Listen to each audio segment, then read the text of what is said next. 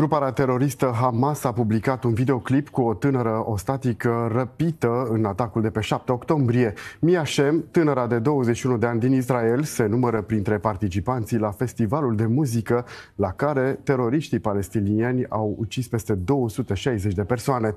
Filmarea publicată pe canalul de Telegram al grupării Hamas arată cum tânăra ostatică este îngrijită după o presupusă operație la mână.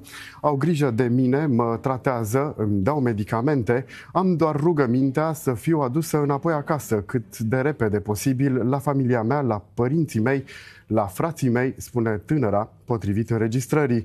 Ulterior, forțele de apărare israeliene au declarat într-o postare că Hamas încearcă să creeze impresia că ar fi umani, deși în realitate sunt o organizație teroristă îngrozitoare responsabilă pentru uciderea și răpirea bebelușilor, copiilor, bărbaților, femeilor și bătrânilor.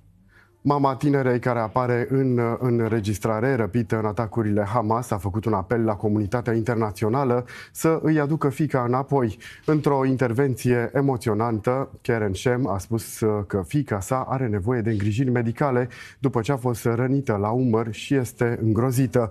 Fata este unul dintre miile de participanți la festivalul de muzică, unde a avut loc un adevărat masacru comis de teroriștii de la Hamas. Urmează imagini și informații cu puternic impact emoțional.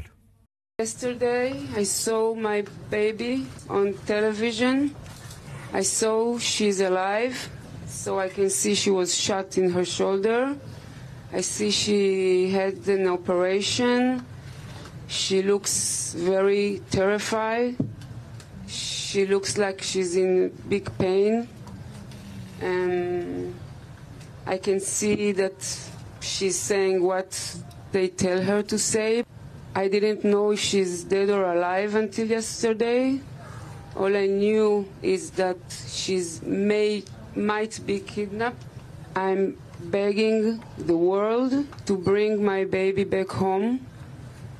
She only went to a party, to a festival party, to have some fun.